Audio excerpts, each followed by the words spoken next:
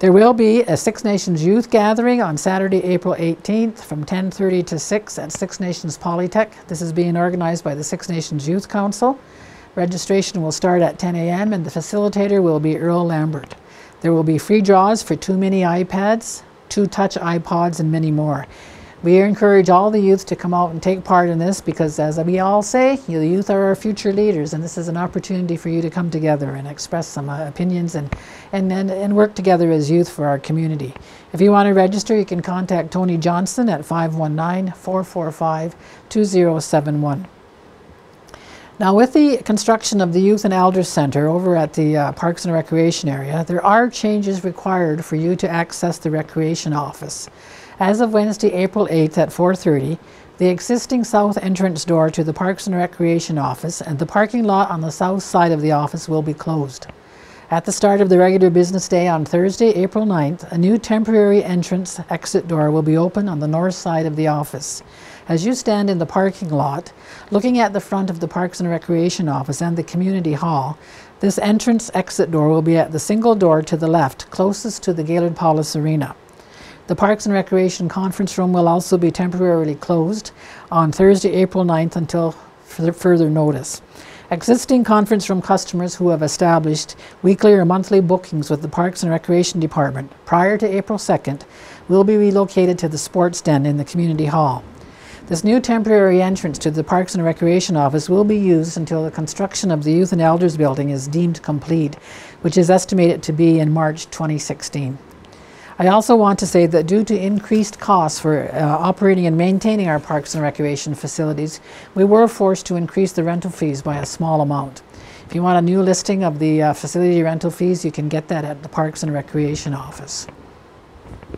Ontario Disability Support Program. Do you have a disability but are unsure if you may be eligible or have questions about the Ontario Disability Support Program, or ODSP? The Ontario Disability Support Program helps people with disabilities who are in financial need to pay for living expenses like food and housing. Staff from the Brantford ODSP office, Jeff and Cindy, will be coming to our community to take applications for those whom have already applied. They will also be able to answer questions about applying as well as other information about the program. Starting on Wednesday, April 8, they will be at Six Nations on a bi-weekly basis every other Wednesday from 9.30 a.m. to 3 p.m. They will be located next to Erland's Restaurant in the Village Plaza on Chiefswood Road in Ohsweken. Please drop in to see them if you have any questions about ODSP or give uh, the staff at Ontario Works a call because they can also provide you with the information. In my past updates, I have uh, decided to give a profile on different departments that are, operating under the uh, Six Nations Elected Council. For this update, I just want to give you some information on what the Lands and Membership Department does. This department reports live events for each of our members' lives. A live event consists of the following birth, marriage, divorce, death, correction of the date of birth, name change, residency, Issuance of certificate of status cards, which are done on Thursday and Friday only between 8.30 a.m. and 3.30 p.m., and the issuance of blood quantum letters. Under the LANDS program, they complete land transfers. Their geographical information system can provide information on aerial view, blue numbers, and survey maps. They can also do research on different lots.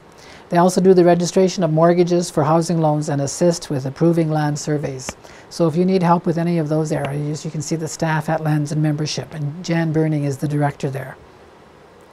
Now that uh, spring is supposed to be here, I want to extend our deepest gratitude to the roads crew at the Public Works Department, along with all the administrative staff, for seeing us through another harsh winter and keeping the roads clear for us.